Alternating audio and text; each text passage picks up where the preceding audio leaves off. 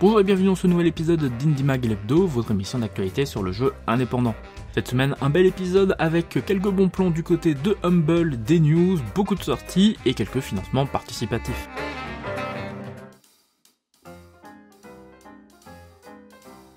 Rapidement sur Humble, il y a actuellement deux bundles qui peuvent être assez sympas. Le premier, c'est le Humble Very Positive Bundle numéro 3. Il propose deux paliers chacun avec trois jeux et un dernier palier. Dans ces jeux intéressants, on a notamment euh, Distrent 2, on a Prison Architect si vous l'avez toujours pas. Si vous aimez le twin stick shooter, il y a Next Machina. Et le jeu unique au troisième palier qui est environ à 9 euros, c'est Shantae, Alph Genie Hero, qui est un Metroid-like très sympa. L'autre bundle qui est très sympa, c'est le Humble Hooked On Multiplayer 2019 Bundle.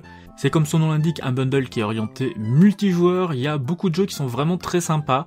Think of the Children, c'est un jeu dans lequel on peut jouer à deux en coopération et on doit tenter de sauver euh, des enfants qui font plein de conneries et qui risquent de mourir à tout instant. Inversus, un jeu que je vous avais montré qui était très très cool. Death Squared, c'est un jeu dans lequel on va euh, coopérer pour résoudre des puzzles. Vous avez du Battle Royale avec Totally Accurate Battlegrounds. Il y a Super Animal Royale qui est vraiment super cool, même si vous aimez pas énormément le Battle Royale. Et puis dans les paliers les plus élevés, vous avez également Killing Floor 2 et Death Garden Blood Harvest, un jeu pour lequel je vous ai préparé une vidéo que je n'ai jamais sortie, puisque le jeu a un petit peu changé depuis, il faudra que je me rattrape.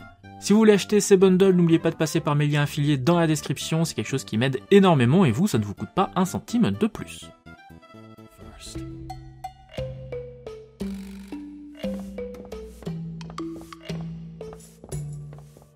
On commence les actualités avec Moonlighter qui a reçu une nouvelle mise à jour. Il y en avait déjà eu 5 auparavant qui étaient gratuits. Celui-ci est payant, il s'appelle The Between Dimension et c'est un DLC qui concerne surtout la fin du jeu.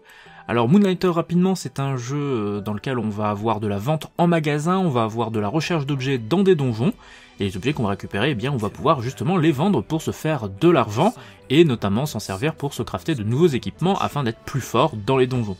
Cette mise à jour Between Dimensions offre un nouveau donjon à parcourir, des créatures supplémentaires à affronter, on a également de nouveaux mini-boss, de nouveaux sets d'équipements, qu'on parle d'armes ou d'armures, on a aussi une dizaine d'armes qui sont uniques, qui sont très puissantes mais qui ont malheureusement une contrepartie négative.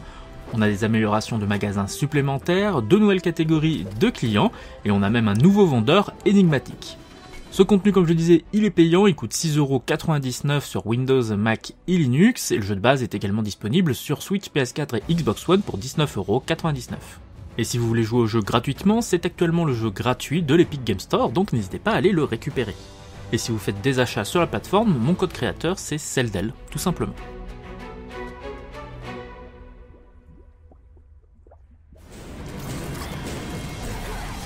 Une autre mise à jour qui nous avait été euh, annoncée euh, avant l'été, il s'agit de celle de Bad North qui s'appelle la Yotun Edition. Bad North c'est un tactical en temps réel qui nous oppose à des vikings au fil de différents niveaux qui sont représentés chacun par des îles.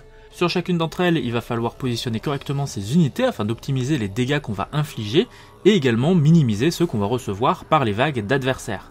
On va gagner de l'argent notamment en protégeant des bâtisses qui sont présents sur les îles, ce qui va nous permettre d'améliorer nos troupes et même de les spécialiser.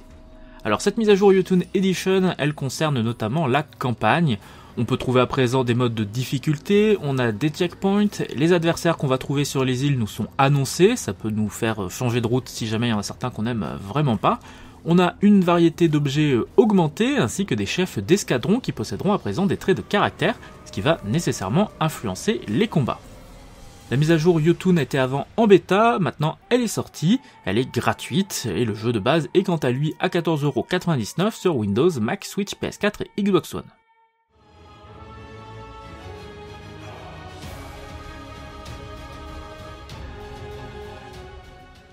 Auparavant, en accès anticipé, il y a Fate Hunters qui est sorti en version finale. Il s'agit d'un rogue avec un système de combat au tour par tour dans lequel il va falloir créer son deck de cartes qui va permettre de combattre les nombreuses créatures. Au fil de sa visite des donjons générés procéduralement, il faudra aussi arranger son deck avec des armes, des objets et des compétences aléatoires, tout en tentant de retirer les cartes correspondant aux dégâts reçus qui vont venir encombrer les actions possibles. Le jeu est disponible sur Windows, Mac et Linux pour 12,49€.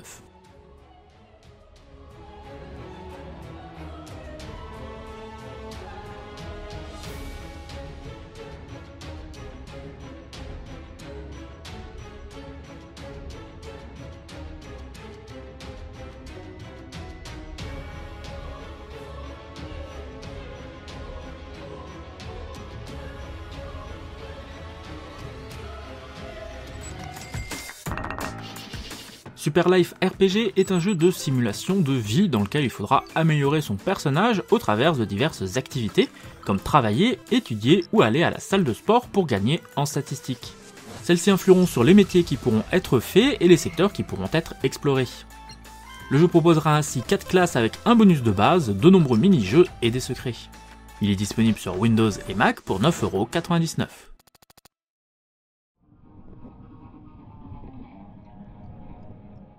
Se déroulant dans l'univers d'Hamlet de Shakespeare, Elsinore est un point and click avec une boucle temporelle. Ophélia, le personnage incarné, a eu une vision dans laquelle toute la population du château éponyme serait morte dans 4 jours. Il faudra donc au fil des itérations parler avec les personnages, leur mentir, les manipuler, devenir leur ami comme leur ennemi afin d'empêcher l'énigmatique événement funeste d'arriver. Au long des découvertes faites, de nouvelles routes s'ouvriront tandis que les protagonistes répéteront les mêmes actions jour après jour. Le jeu est disponible pour 16,79€ sur Windows, Mac et Linux. Whether my friends and my family live or die, it all depends on the choices I make. How will I find the end to this tragedy without losing myself?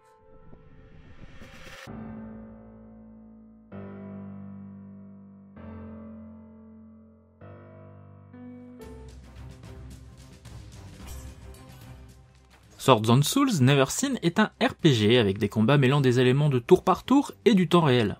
Pour améliorer son personnage, il faudra réussir des mini-jeux d'adresse, améliorer sa salle d'entraînement et acheter des équipements. Le jeu proposera également d'apprivoiser des familiers et de recruter des mercenaires. Il est disponible sur Windows pour 14,99€.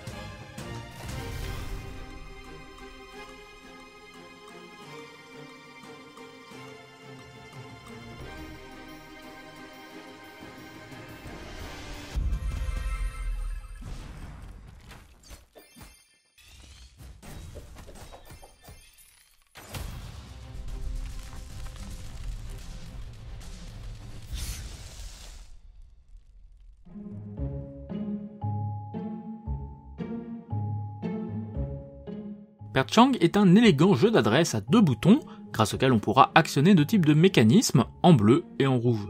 L'objectif sera à travers de ceux-ci de permettre à des sphères d'atteindre le bout du tableau en les propulsant, en les faisant virevolter ou en leur créant des routes.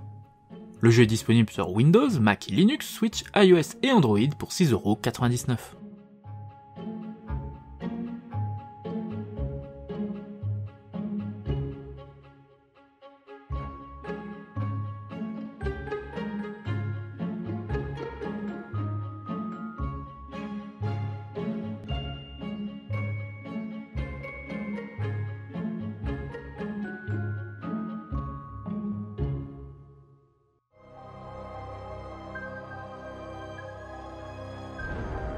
Wildland est un jeu d'aventure et de survie à l'ambiance post-apocalyptique. Sous des allures de road trip, on parcourra la Russie après l'effondrement du bloc soviétique, s'étant vidé de ses habitants dans certaines régions. Dans un monde ouvert, il faudra ainsi explorer, remplir des missions et trouver des ressources pour continuer à progresser. On possédera également un système de réputation tandis qu'on pourra changer de véhicule. Le jeu est disponible sur Windows pour 5,69€.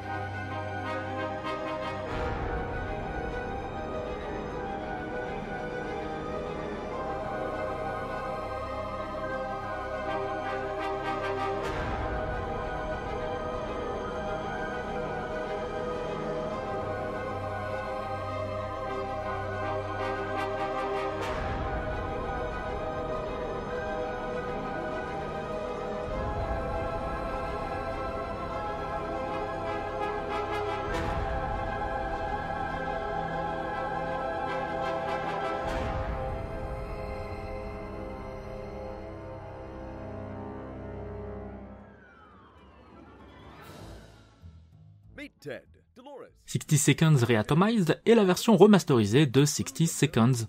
Sorti il y a quelques années, le jeu s'est déroulé dans un contexte d'isolement suite à l'explosion d'une bombe nucléaire. Il fallait ainsi récupérer très rapidement sa famille et de quoi survivre le plus longtemps possible avant de s'enfermer dans un bunker.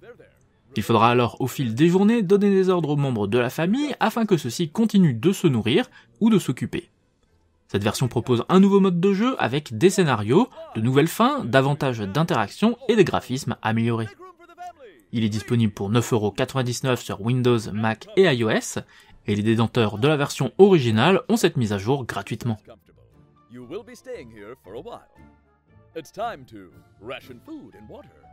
Send expedition to the nuclear wasteland. Cope with unexpected situations, making decisions that will affect your future. And maybe survive. Or not. Well, hello there! Ted, Dolores, Mary Jane, and little Timmy. A true post nuclear family. It might just be the fallout, but you folks are positively glowing. Enjoy living the radioactive American dream. The government does not guarantee an enjoyable radioactive American dream, but it can deliver on amazingly improved views, sounds, and hats. Nine.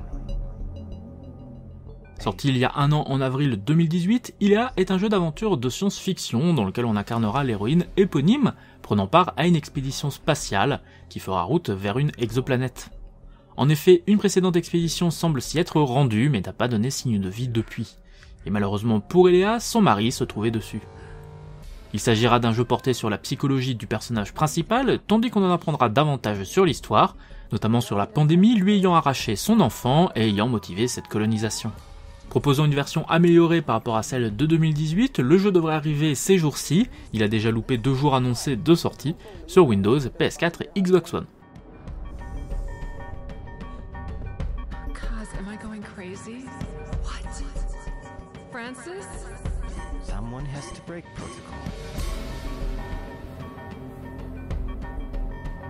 Are you sure this is what you want?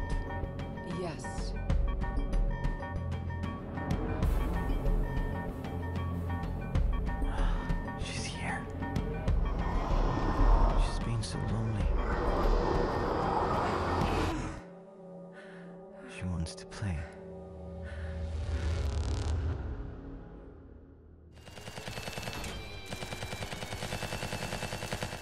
Bandits est un jeu de tank en arène dans lequel on pourra contrôler 8 personnages différents avec leur propre style de jeu et combattre dans des environnements destructibles.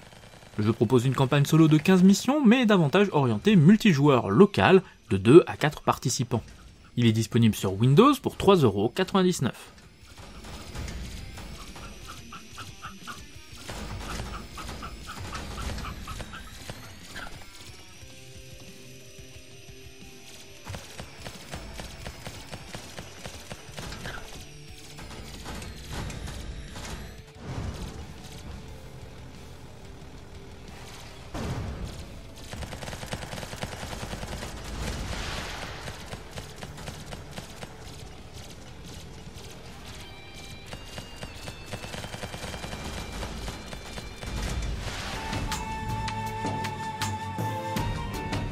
Merchant of the Skies est un jeu d'échange de ressources aux commandes d'un véhicule volant, avec un aspect de gestion et de création de bâtiments. Il faudra ainsi trouver des routes commerciales, découvrir de nouvelles îles, gagner de l'expérience et démarrer sa propre création de ressources. Le jeu arrivera le 30 juillet sur Windows, Mac et Linux.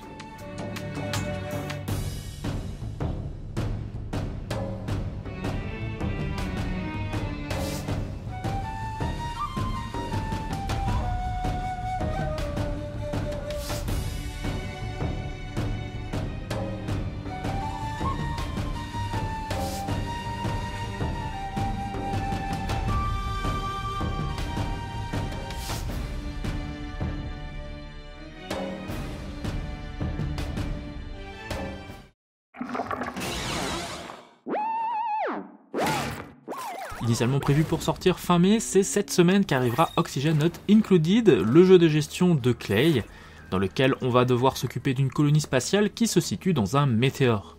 Évidemment, il s'y trouve de nombreux dangers et il faudra veiller à la survie de ces bons hommes. Durant son accès anticipé, le jeu a profité de nombreuses mises à jour et il arrivera pour de bon le 30 juillet sur Windows, Mac et Linux avec un prix qui devrait un petit peu augmenter par rapport aux 23 euros actuels. Au passage, il y aura une nouvelle mise à jour qui sera faite avec des biomes supplémentaires, des objectifs à atteindre, ainsi que de nouveaux astéroïdes et bâtiments.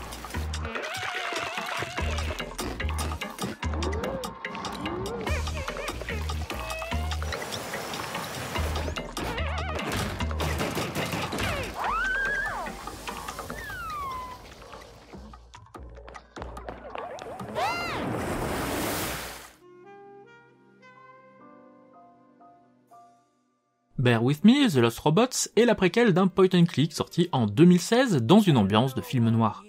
Il faudra y résoudre des énigmes, discuter avec les suspects et rechercher des informations dans les lieux de l'intrigue aux commandes d'un ourson. Le jeu arrivera le 31 juillet sur Windows. It's about this little lassie Amber and the mangy bear detective called Ted E. Bear. Aye, little Mrs. Brother has gone missing, you see, and the unlikely duo sets off to find him. Seeing as the game has been out for a while, you might be asking yourself, why talk about it now, Sharky Shark? Well, you see, there's a brand new prequel episode coming out soon. In this one, I'm told you play as the missing brother Flint. And just like before, you collect clues, interrogate suspects, mix some cocktails, and resurrect the dead. ah, what a spectacle. You can get the bundle containing all the original episodes too.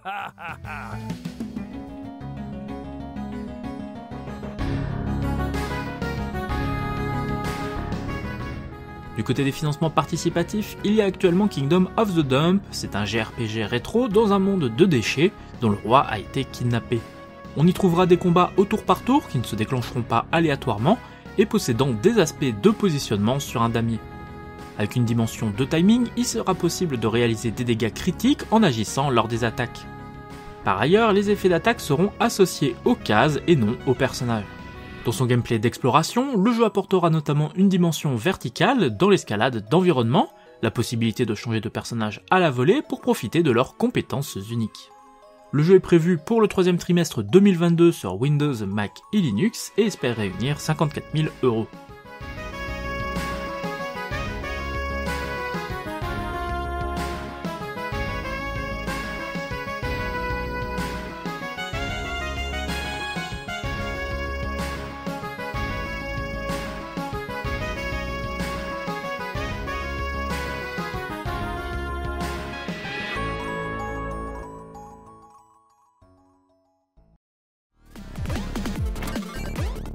On termine avec Phantom Gear qui est un jeu de plateforme exclusivement développé pour la Mega Drive. Il proposera d'y parcourir 5 niveaux, de combattre des boss et d'acquérir toute une variété d'armes dans un gameplay qui est somme toute assez classique.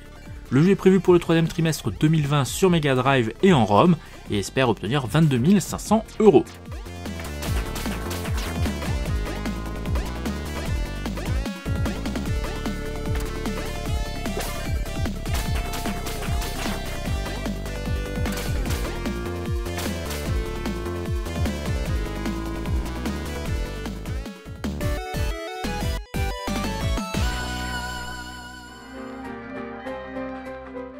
Voilà qui conclut ce gros hebdo, j'espère qu'il vous a plu. Je vous fais des papouilles et on se retrouve très bientôt pour de nouvelles vidéos.